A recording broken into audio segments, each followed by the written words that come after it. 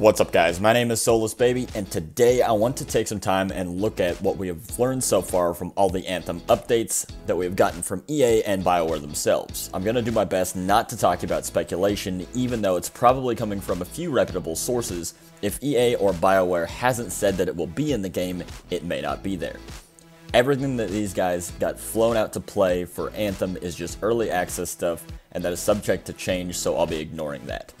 Also, there's a good amount of speculation that EA is already ruining Anthem and that this game is just going to flop. In my opinion, it's way too early for that type of talk, since we don't know how this game feels up against its heavy competition. But moving on. So Anthem, if any of you don't know, is going to be a live service, and the developers have stated that all the expansions that will be coming out for this game are going to be free due to the inclusion of microtransactions for cosmetics. BioWare is taking advantage of it being a live service by making the world as ever changing as possible, even going so far to state that it will be different for every time you enter free play or a legendary contract. They've even come out with a roadmap showcasing the events that will be dropping and in what sequence, even though we haven't had its initial launch yet.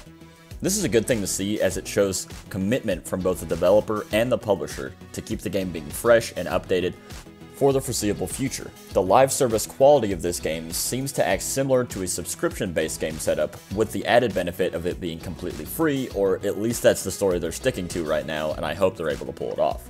This also gives BioWare the freedom to launch content whenever they want, aka whenever it's ready to be released, as well as change world events and the like to keep you in a state of not knowing every time you boot the game up which, if it works, will be a fantastic way to stay relevant for them. It's also extremely ambitious on their part, and it means they'll have to put in a lot of work.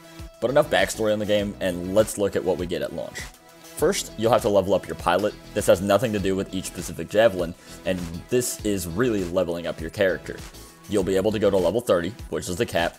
That's when the end game starts, and you'll begin specking your javelins to be the most overpowered they can possibly be, with the inclusion of gear, weapons, and different abilities. And you'll do this by gradually climbing the ladder of difficulty that Anthem has to offer, all the way from easy up to Grandmaster 3, which is where the best gear in the game is going to come from. As you increase the difficulty, the rewards you get from activities will also increase, but with the massive jump in loot, you also get a substantial amount of hardship. The enemies will have a lot more health the further you go, and the high tier enemies of this faction will spawn. Apparently the enemies will also have a more difficult AI to fight against, as well as deploying different movesets and tactics. It hasn't been pinpointed as to whether this only applies to mobs or if it applies to bosses as well, but that seems pretty decent to me since I personally was very worried that the enemies would just become massive bullet sponges, and that gets really boring when you're doing the same missions over and over again. Some of the highest level activities you're going to be able to do are called strongholds which at lower difficulties take 30 to 40 minutes, while as higher difficulties you're going to be able to take about 2 to 3 hours to do them. Now, this doesn't seem like very much content, but BioWare has committed to keep your grinding fresh by consistently adding world events to keep you busy outside of these activities. I talked about the concept of raids a lot in my last video about Anthem, but I want to briefly state what the developer has said about them again now because I think it's relevant to this conversation. The problem with Raid is that it has a connotation. It requires more people, or has 5 bosses in a circle. That's why I'm using the word aspiration content. In other games, a raid is that, and while I think that it is important to a game like ours, we have an idea which is different but ticks the needs of why a raid is important. It's the thing you'll schedule with your buddies, will be hard, requires tons and tons of coordination, and then there will be ways to show it off for you if you're good at that or not. So they have their own ideas for what a raid should be, and that's all we know about them so far. Along with the three strongholds, two of which are available at launch, you'll have legendary contracts, which according to them, will be completely different every time you do them. They even go so far to say that you'll almost never do the same thing twice as they generate randomly. This is a very bold claim. In doing these contracts, you gain higher level gear to level up your javelins.